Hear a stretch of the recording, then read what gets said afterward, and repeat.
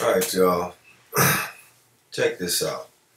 We're gonna go over some simple route techniques for you guys. Once again, I'm gonna tell you guys, like I tell all of my athletes, you are not going to do all of these drills when you get on the football field. But what's gonna happen is some of these moves that you are doing in these drills are gonna happen in situations. You have to understand that in order to be a good wide receiver or whatever position that you're playing, but right here, this right here is specifically about wide receivers. Whatever position that you're playing, you have to be able to perfect the footwork in that position. So as a receiver, most of your motions, most of your most of your movements, things that you're going to be doing, you're going to be falling forward, moving forward. So if you're not in a position to where you are going forward, then you're going backwards, right? And what I mean is backwards. I'm, I don't mean that in a good way. I mean that in a bad way. You're, we're trying to create forward progress as a receiver because you got to understand we're going. We're, we're, as soon as the ball is hiked, you're trying to go and catch a ball, right? So you have to do things in order to get open. So this right here, pay close attention to this drill so that you guys can see what I'm talking about.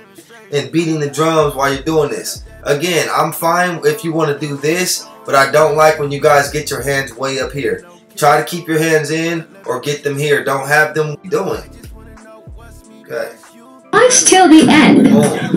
Drop down. Boom. Don't forget Drop to follow the YouTube tap, channel tap. link is in the bio. Let's, let's check the get get there, out. tap. So, starting off, I'll say this: he's standing up too high. He's got to be standing down lower. But again, this is his first session with me.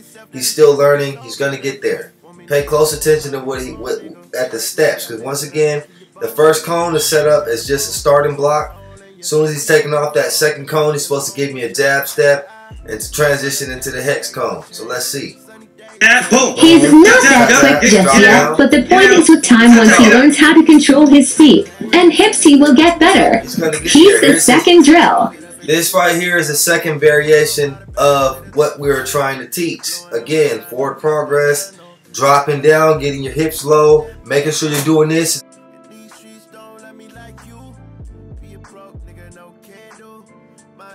She too bougie, brand new. I just wanna know what's me plus you. Chop the roof in the sea fit too.